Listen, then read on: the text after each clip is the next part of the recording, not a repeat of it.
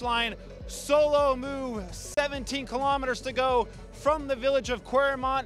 He did it, becoming the first Tour de France champion to win the Tour of Flanders since Eddie Merckx in 1975. Second was two-time Tour of Flanders winner Mathieu van der Poel, and winning the sprint behind was Mads Pedersen. But oh wait, there was also some Americans in the mix. Yes, Neilson Powless in his debut finished fifth for EF Education. In ninth place, another American, Movistar rider Matteo Jorgenson. What a day out. And we're talking a day that saw moves and action already from the gun because none other than Mathieu van der Poel, he said he likes riding towards the back of the peloton. Well, he was caught out and that was early on in the day, around about 260 kilometers still to race. He was off the main pack for around 20 kilometers.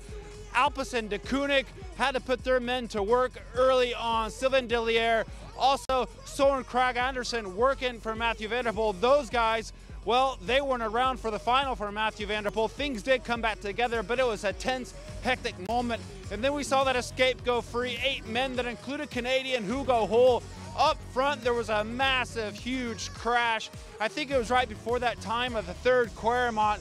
The crash took out past Tour Flanders winner Peter Sagan, also Tim Wellens. We saw Wout van Aert go down on the crash as well. Perhaps that affected him in his ride today. There was a Bahrain rider that apparently caused that crash, and in fact, the jury decided to DQ the rider because of the crash, and that happened during the race.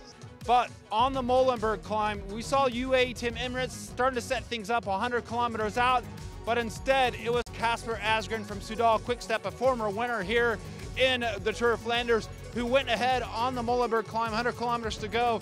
Back behind, Neilson Powless looking attentive in his first edition debut of this race, and that move went free. Nine riders that also would eventually include Matteo Jorgenson, who bridged up with Benoit Cosnefroy nine riders chasing that eight up front. They would come together, and then we had a massive group up ahead. And another massive second of crash.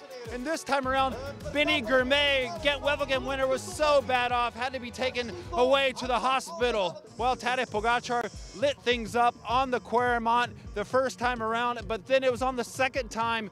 Again, UAE Team was really lighting things up, going into that second climb up the old Quaremont, and that split things up for the race.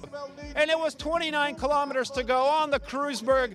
Van der Poel lit it up. Van Aert didn't quite look magnificent. Pog was there with them.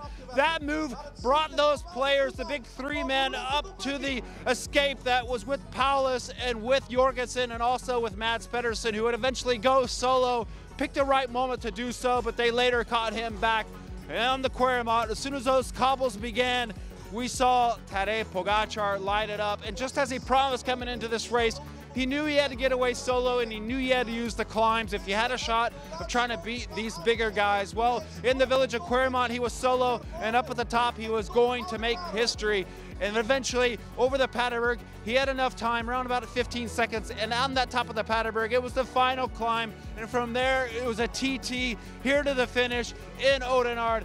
It was Pogacar versus Van der Poel, the two greats, and he held enough time to celebrate here on the finish line in Oudenaarde. Tour de France champion, two-time Tour de France champion, win in Flanders, and they had a little meeting after the finish line with van der Poel, and they were happy for each other. And what a day of racing in the Tour of Flanders. Pogacar winner, Americans up there in the top 10, and a great day of racing.